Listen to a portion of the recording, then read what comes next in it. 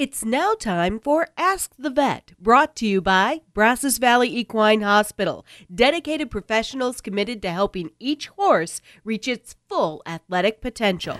John from Huntsville wants to know what can be done to provide some comfort to his old rope horse that has arthritis.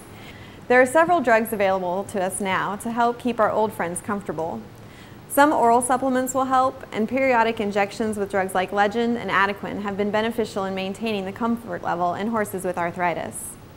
Arthritic joints can be managed with intra-articular injections of hyaluronic acid and or steroids.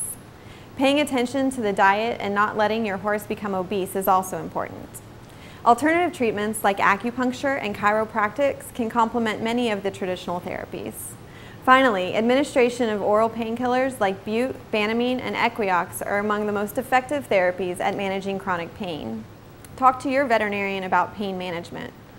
John, thank you for your question and look for this segment next week where we'll talk about the risk and benefits of oral painkillers. If you have a question you would like to see on Ask the Vet, look us up on Facebook at Brazos Valley Equine Hospital. Ask the Vet, brought to you by Brazos Valley Equine Hospital, now with three convenient locations in Texas Navasota, Rockdale, and Stephenville.